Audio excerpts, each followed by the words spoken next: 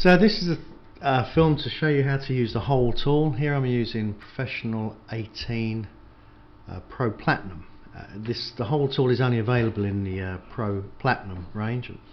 That's the only one I deal with, so I'm fine. Um, we've got a block here that I've drawn, which is 100 millimeters by 200 millimeters and 50 high. So what we're going to imagine we're going to do is put a, a row of eight holes along this uh, work plane, this surface, uh, equal distance apart and say 20 mil in from one end. Now th there's probably lots of different ways of doing this but I'll show you the method I, I would use. I'm, I'm, sure some people say well that's, that's a long way around but anyway it's what I would do. I would draw some construction lines on my surface here so the first thing I'm going to do is make that surface my work plane. So that's the surface I'm working on. I'm then going to put some construction lines on that surface. I'm going to put one on here, uh, one there, and now I can snap the midpoint of those lines and now I've got a, a line going all the way through the midpoint. Now if the first one's hole is going to be say 20 in I could use the parallel line tool, this one here. Parallel line down the bottom here offsets to one millimeter. That's the default. If I said I wanted them 20 mil in, the first one, and then I can click onto that line. There's my one line, and there's the one at the other end. Now what I'd probably do at this point now is I would select all those lines. Oh, I missed that there select all those lines and make them a different colour just so that you could distinguish them. I'd also probably put them on a different layer at some point. Okay, so here's the position of our first hole here. So now we can shoot, what we've got to draw is points along here where our holes are going to be created. So if I right click, here's my point tools. You can use the dot, but it's really very small, you can't see it. I suppose you can use the stars or the squares. I don't know. I mean, you just wouldn't use those ones. Uh, you can't use the circle, but you can use the cross, which is probably the most useful one.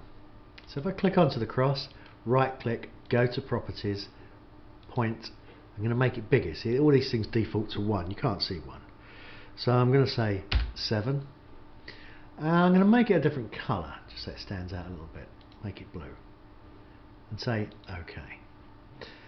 I'm going to put my first one there. That Those two lines meet crossing each other at an intersection, so I'm going to hit I on my keyboard, and there's my first blue one. Hit the spacebar come out the tool. Now I'm going to use the copying tools up here to space the eight holes out along here. These are all greyed out because I've not got anything selected. So I'm going to select that cross.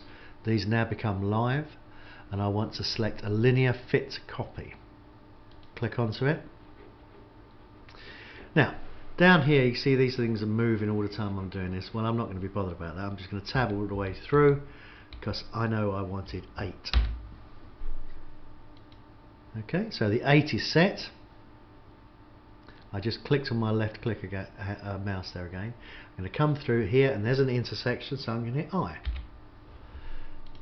So there's eight crosses uh, equal distance apart. Here is the hole tool, add holes. I click onto that, I right click, I go to properties, say OK, and sorry, properties, hole. Right, plain hole. So now we define the hole. Let's have a tapped hole. There it is. Depth of the hole is 3 mil, well, that's not much good to us, so let's say the depth of the hole was uh, 20 mil. Uh, the diameter we say was uh, 8. The reach, does it go all the way through or to the next face or normal, we'll just leave normal. The thread depth, so how far down that 20 mil does it go? If we say 15. And the thread pitch, uh, we'll say it's 4.